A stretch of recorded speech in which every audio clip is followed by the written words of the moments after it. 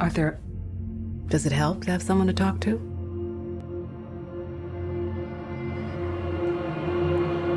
What's up guys, this is The Reel, and in this trailer review we're going to look at the upcoming film, The Joker.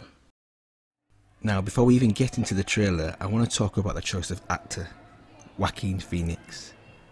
I think he's a good choice for this type of character, and he has also shown his ability to deliver in a wide range of roles. His performance in Gladiator, You loved my father, I know. But so did I. Walk the Line, yourself, you think it's about a tour, honey. This isn't about a tour. This isn't about a song. Bigfoot and Inherent Vice were excellent. smashed on my door. Come on. I'm confident that he'll be able to deliver in terms of performance as Arthur. The key question here is, can he also deliver as the Joker? Okay, now let's get into the trailer.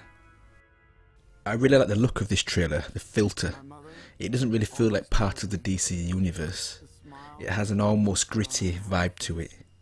I find it interesting how the origin sets Arthur as a middle-aged man going through some form of almost middle-aged crisis of character. He also seems to be behind socially, financially, and clearly down on his luck.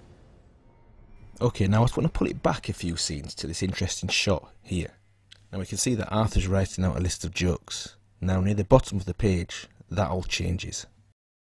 The worst part about having a mental illness is that people expect you to behave as if you don't.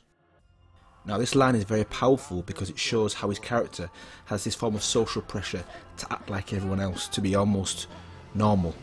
This is intensified further due to his job as a clown. Where he needs to be funny, he needs to entertain, he needs to make people laugh, which is a complete polar opposite of how he truly feels. I also like his version of the iconic Joker laugh.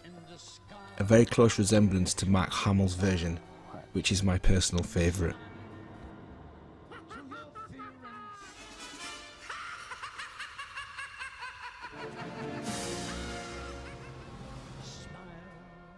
Now I'm sure over time Arthur realises that the only person he truly needs to make smile is himself. I also like how the choice of song has a feel good factor to it, while at the same time the visuals running over the song are quite dark. This contrast between the two can be likened to how Arthur's mind works, in contrast to others, and more importantly, finding humour in situations that others don't. My first impressions of the look of the Joker was mixed. Now I know over time it might grow on me and also that it's an origin story, so I'm sure that throughout the course of the film his look will develop and grow. I just hope that he doesn't turn into a Christian Bale's Batman, a great Bruce Wayne and an average Dark Knight.